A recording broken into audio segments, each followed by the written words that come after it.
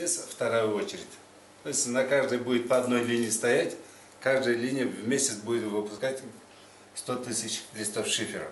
Производственная линия, склад, подсобные помещения. Пока все это существует только в виде чертежа на стене. Но технический директор компании Жолшебек Акулов уверен, уже в сентябре этого года в Шимкенте начнет работать новый шиферный завод. На строительной площадке мужчина проводит почти все свое время. Строительство началось в октябре 2012 -го. Сейчас подготовительные работы завершаются. Впереди доставка, монтаж и пусконаладка производственного оборудования. В сентябре этого года завод будет сдан в эксплуатацию. Здесь у нас будет выпускаться на двух линиях где-то 2,5 миллиона шифера в год. А там где-то 3 миллиона квадратов фиброплит. Разное назначение. Фасады, можно внутренней отделкой, вентиляционной отделкой и так далее, и так далее.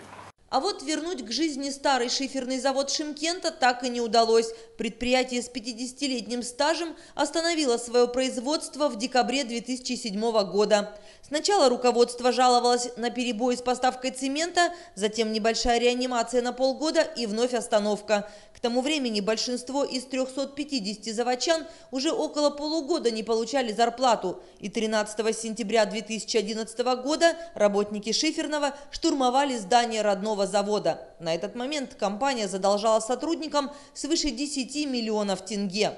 Наш директор и юристы, и бухгалтерия занимается это кредитом. Кредит взять хотим. Директор нам сказал, вот это к конце сентября месяца мы это получим и запустим.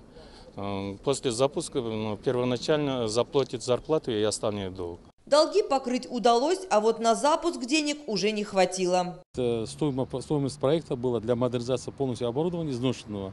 Это составляло более 1 миллиард 400 миллионов тенге.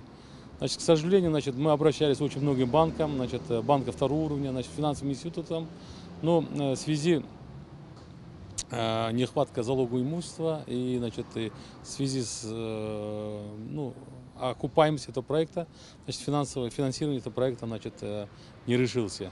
И все же руководство области не теряет надежды восстановить предприятие и утверждает, что новому шиферному судьба предшественника не грозит, ведь это производство получило поддержку сразу по двум государственным программам дорожной карте бизнеса и форсированного индустриально-инновационного развития. Ирина Притула, Платон Леденев, информационная служба телекомпании «Отерар».